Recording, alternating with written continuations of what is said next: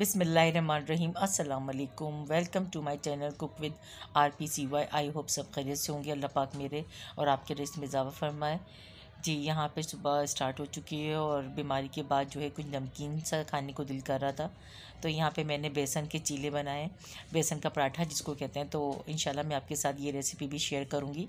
तो जो आज मैं रेसिपी शेयर करने वाली हूँ वो चने की चने की दाल और मूंग की दाल मैंने लिए मंगूछियाँ बना रही हूँ मैं दाल की। तो मैंने इसमें दो कप जो है मूंग की दाल लिए थे और एक कप जो है मैंने चने की दाल लिए थे। तो आप अपने अपने हिसाब से ले सकते हैं, चाहे तो मूँग की दाल का बना लें या सिंपल जो है वो चने चने की दाल का जिस दाल का दिल करे आप मंगूछियाँ बना लें। तो ज़्यादातर जो मूंग की दाल के बड़े भी कहलाते हैं ये तो इसमें मैंने दो प्याली के करीब जो है मूंग की दाल ली थी, छोटी प्याली अपने घर हिसाब से, और एक प्याली के करीब मैंने चने की दाल भिगो दी थी अच्छे से तीन चार घंटे के लिए। उसके बाद मैंने इसको ग्राइंड कर लिया था सिंपल, और इसमें वन वन टेबल स्पून मैंने coriander powder, crush red chilli powder, हरा धनिया और नमक, और इसमें मैंने जो है ज़ीरा जो है पिसा वो डाल के, और उसको बस आप इसमें मिक्स करके कढ़ाई में ऑयल जो है बहुत अच्छे से जो है वो गर्म कर लिया था इसमें और इसमें मैंने चम्मच से मदद से अच्छी सी इसमें डालती गई और इसको चलाना नहीं है और मीडियम फ्लेम पे इसको रखना है। और इसको डाल दें पहले आराम से अच्छे से इसमें जो है वन बाय वन करके डालना है इसको और ऑयल जो आपका बहुत ज़्यादा हीट पे ना हो मतलब मीडियम हो ज़्यादा ज़्यादा गर्म ना हो, ये नीचे से वरना जलना शुरू कर दें। मतलब अच्छे से ऑयल गर्म हो, जिसमें दाल के पकोड़े हम बना रहे हैं तो क्रिस्पी क्रिस्पी भी रहने चाहिए और अच्छे से ये खुद ही जो है, नीचे से जब पक जाएँगे तो ये ऊपर की तरफ़ आ जाएँगे और आप इसकी क्रिस्प क्रिस्प जो इसकी आवाज़ है, आप उसको सुन सकते हैं। वो किस तरीके से इतने अच्छे से ही बन के तैयार हुए थे कि मैं जब बनाते जा रही थी तो मैं इसको खा साथ साथ खाते भी जा रहे थे हम लोग कैचअप के साथ। तो ये बहुत मज़े के लग रहे थे। तो यहाँ पे इसकी साउंड सुने आप कितनी क्रिस्पी से ही बने।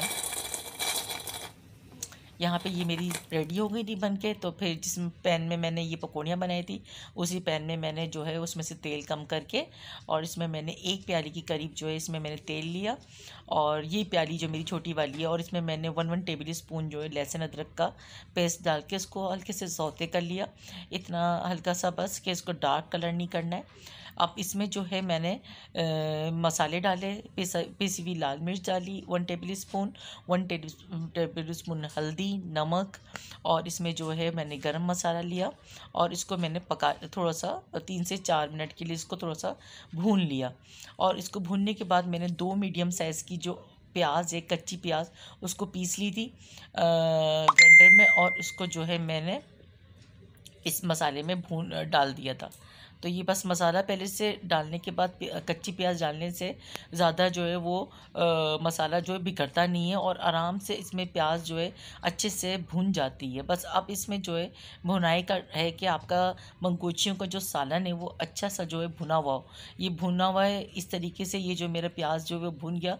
तो इसमें मैंने फ़ोर टेबल स्पून जो है दही जो है फेंट के इसमें डालना है और जब दही का पानी खुश्क हो जाएगा अब दही के साथ इसको मैंने भुनना है अच्छा सा और वो इस तरह भुन जाएगा कि ऑयल जो है वो साइड पे आ जाएगा। तो मैंने एक प्याली के करीब टमाटर प्यूरी, दो मीडियम साइज़ के जो टमाटर होते हैं, उसको प्यूरी को मैंने इस मिक्सचर में डाल के उसको भी अच्छे से भून लेना है। अब वो देखें भून के वो इस तरीके से हो जाएगा। मसाला हमारा बिल्कुल खुश्क हो जाएगा। तो हम इसमें अपने अकॉर्डिंग टू हमारी जो मंगोचियाँ हैं, उसके पानी डालेंगे। इसका पानी जो है वो ज़्यादातर पतला होता है, क्योंकि मंगोचियाँ जो हैं बहुत ज़्यादा पानी पीती हैं। आप पकाने के बाद भी जब इसको रखेंगे तो ये पानी पी जाएँगे। आई होप आपको ये रेसिपी पसंद आए तो ज़रूर लाइक शेयर एंड कॉमेंट कर दीजिएगा। और सब्सक्राइब करना तो बिल्कुल मत भूलिए भूलिएगा। अल्लाह हाफिज़।